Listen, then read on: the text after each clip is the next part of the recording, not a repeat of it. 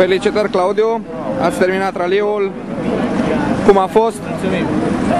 Prima dată pe pământ american am terminat raliul cu bine și este o realizare mare. Obiectivul nostru este atins și chiar puțin depășit. Suntem foarte bucuroși, chiar dacă era să facem infarct ultima probă. A fost un raliu extraordinar de dificil. La început n-aș fi spus așa ceva sau nu mă, nu mă așteptam să fie atât de greu. Jos a fost numai gheață. Dacă ieri am spus că patinarul Floreasca joacă la juniori, astăzi nu știu, ce, nu știu cum să mai spun, pentru că a fost mai alunecos decât ieri.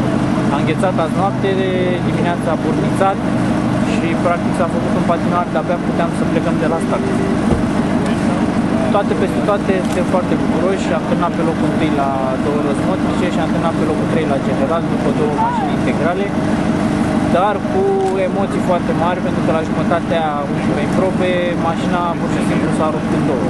S-a rupt ceva la porții de la motor, la n-am știut inițial ce este, am văzut că suspensie, frâne, făceam un zgomot foarte puternic și simțeam vibrații foarte puternice în volan.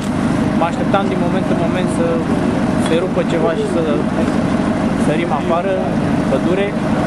Am pierdut foarte mult timp, două minute jumătate acolo. Am fost depășiți de mașina cu care ne băteam în două copii la două rozmotrice și m-am gândit că este posibil să pierdem chiar victoria. Din fericire ne-a ajutat Dumnezeu și am ajuns cu bine și ne-am îndeplinit obiectivul Super. Uh, mulțumesc tuturor celor care mi-au fost alături și de această dată, ca, ca de obicei, românilor de aici, din America, care au tremurat pe probe și au înghețat și, bineînțeles, celor de acasă care n-au dormit să ne vadă și ne-au ținut. Felicitări! Mulțumim! Mersi! Succes, Claudiu!